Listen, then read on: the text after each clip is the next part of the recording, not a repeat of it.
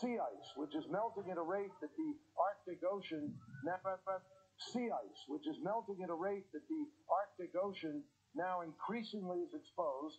In five years, scientists predict we will have the first ice-free Arctic summer.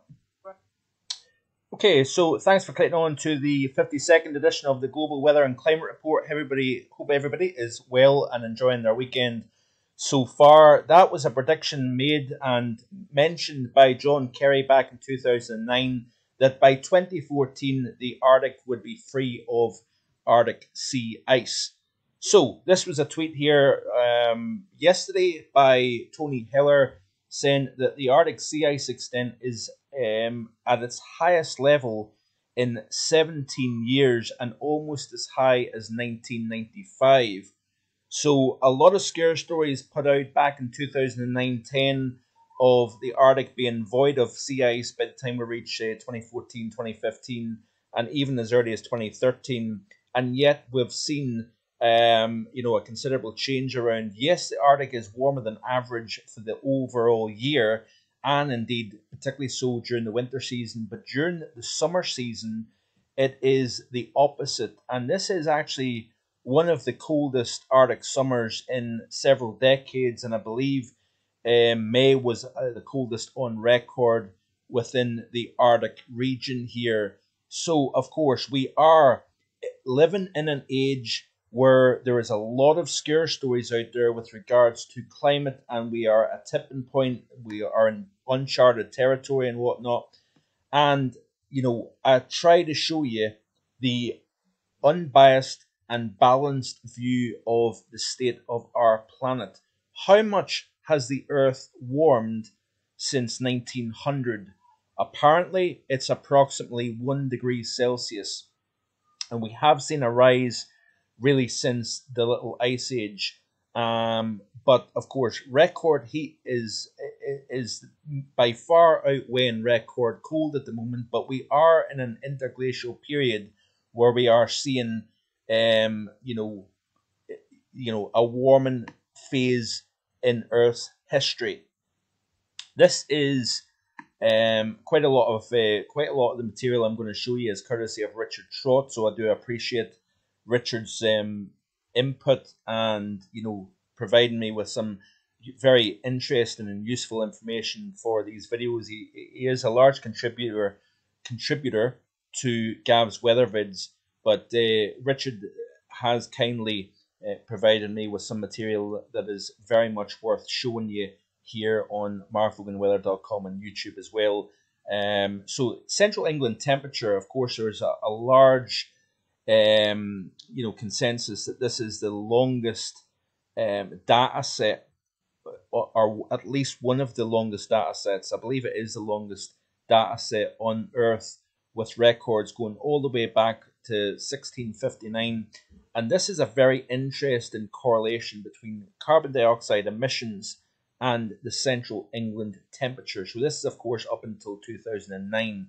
But the point in this is that we see a dramatic rise in carbon dioxide, i.e., the black line here showing the rise in CO2 levels all the way up to this level here. So it's, you know, essentially off the chart, um, you know, the rise in CO2. But then this line here is actually the temperature. And you can see here a steady rise, yes, between um, 1659, where the temperature is what, uh, about what, 9 Celsius, and it's risen to about what, just shy of, of 10 Celsius on average between 1659 and 2009 here.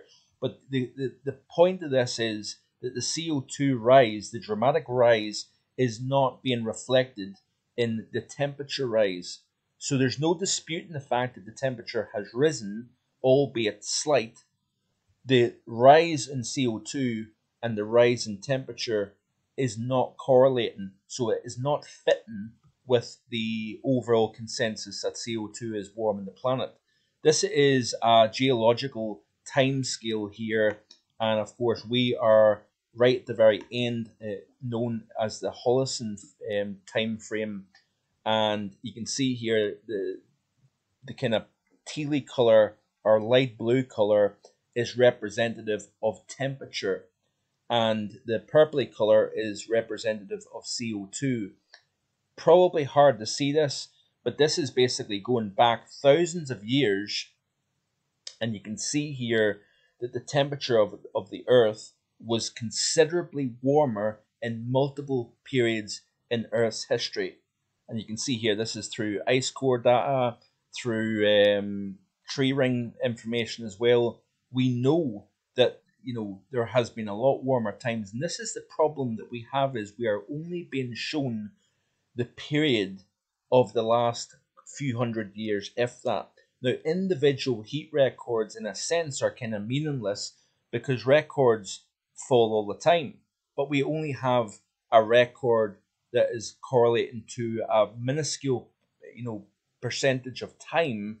Whereas, you know, how do we know that the temperatures that we're seeing now, the records that we're seeing now, is anything particularly out of the ordinary? Is it the highest we've ever seen 50, 51, 52, 53 Celsius? like I've said in previous videos, folks, we aren't smashing through barriers that we haven't really seen on, on the face of the planet before. So 54 Celsius appears to be right around the cusp, the ceiling in terms of the maximum temperature, air temperature measured on the face of the planet. Now, there has been occasions where 55 Celsius was achieved, 56 Celsius was achieved, and these records uh, you know, dating back to the early early 1900s, has been dismissed as being inaccurate. But the point of the matter is that we are not seeing temperatures that we haven't essentially seen on planet Earth before. Yes, city temperature records are falling, but let's remember that you know we've got far bigger urban areas now than we've ever had. The planet is you know more populated than it ever has been. So that element will definitely have an, an effect, a warming effect on the planet. There's no question about that. Have massive cities like Delhi, Tokyo, even Moscow, London, Paris. These cities have all expanded in the last 50 plus years. So, in a sense, with climate change and the warming that we're seeing, why are we not seeing temperatures way higher than what that were recorded back in the you know 70s, 80s, and, and 90s? That's the question I would like to ask. But this here geological timescale concentration of CO2 and temperature fluctuations says a big deal. It, it offers a counter argument. Remember what I said as well that I'm not necessarily totally dismissing the CO2 argument. I'm not necessarily saying that these people on TV, meteorologists, climate scientists that believe that CO2 is warming the planet. I'm not necessarily saying that that is completely and utterly incorrect what I'm saying. I'm saying that we have got plenty of material out there. We've got plenty of scientists that have a very good counter argument against this to show that you know what we're seeing is you know is it completely you know off the scale out of the ordinary it, it opens up so many questions. So this is another um, chart sent by by Richard Trott showing over the past what 300 plus thousand years this is Vostok ice core data from Antarctica. And you can see here this is the current period. And of course the correlation between carbon dioxide and temperature. Now Antarctica has been exceptionally mild this winter but yet we've seen the coldest temperatures since 2017, not just in Antarctica, by the way, but anywhere on the face of the planet. Now, yes, Arctic sea ice and Antarctic sea ice, should I say, is at its lowest levels on record for the month of July. So July is in a sense like January, only it's in the southern hemisphere, winter, of course. So it'd be like having the lowest Arctic sea ice for the middle of winter for January on record. That's what we're seeing at the moment in Antarctica. But look at this here, folks. We've seen these rises and falls in temperature before. This is where we're at right now. This is where we're at over a thousand year, hundred thousand years ago, should I say? This is where we're at, you know, two hundred thousand plus years ago. over 300,000 years ago, you can see the rise and fall in temperature. As well as that, we can see it also in carbon dioxide concentration as well. Now, the key take home for this particular chart here is look at the massive rise in CO2 around the year 20, 2020. And yet, where's the temperature going? It's actually going the other way. It's dropping, as you can see here. Why is that the case? Who knows? But it's not carbon dioxide, according to this chart here. The carbon dioxide's through the roof. It's way up beyond the ceiling of the chart. But yet the temperature has stopped, like it did in this period, in this period, in this period. So this goes against what scientists are telling us. Okay, so there was a meteorologist from the Met Office that came up with a video a couple of days ago saying about the claims that were being made. I know people were saying that the ground temper, temperature was being measured and whatnot, and that is ridiculous. He did make mention of it being a ridiculous claim that temperatures were not being measured the same way that they've always done. He, he made mention, and I'm not going to mention his name because I do like the guy. I, I do have a great deal of respect um, for what he does, so I'm not going to say the name, but he made mention that all these temperatures in southern Europe over the last 10 to 14 days, breaking records here and there, including Rome, including Palermo, temperatures were being measured by a Stevenson screen. And according to our friend Harry Hardrada, the Palermo Observatory station, where 47 Celsius was measured, was on a rooftop. On a rooftop and this isn't a standard weather site, not anymore, and shouldn't be used to measure climatic trends. It's about as valid as my head held Kestrel thermometer. Interesting, okay? I also noticed that apparently the Rome temperature of 42.9 Celsius, which was deemed accurate, was also in the balcony of, of, a, of, a, of a rooftop or a balcony in the center of Rome so that is not going to be particularly accurate either, in my opinion. So this is this is what I'm saying, folks. This is what we have to consider with every. I'm not dismissing the fact that we had, you know, record-breaking heat across southern portions of Europe here, but is it smashing through, you know, barriers that we haven't seen before? No. So climate change on foot a very, very flippant retweet that I put out a few days ago. But what is, are we looking at here? We're looking at a guy that is setting fires in Sicily. So, can I get the video up?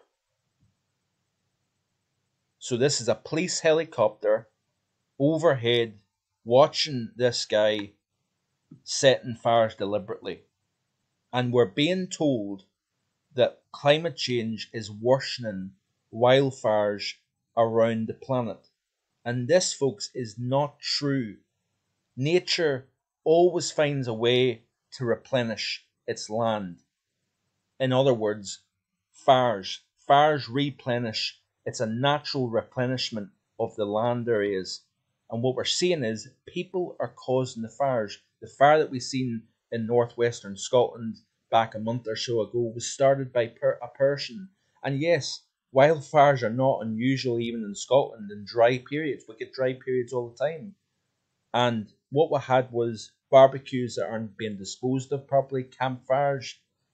These aspects are man made, but it's not climate change. It's not making fires worse or more frequent. They're simply being started unnaturally, and then, of course, with the right conditions, the land catches fire very, very easily indeed. So wildfires are being are being blamed for on climate change. Also, another aspect is a lot of buildings, a lot of towns, resorts are being built on areas that you know 50 years ago were in the middle of vegetation, were in the middle of forests. You put people in nature, uh, and wildfires begin.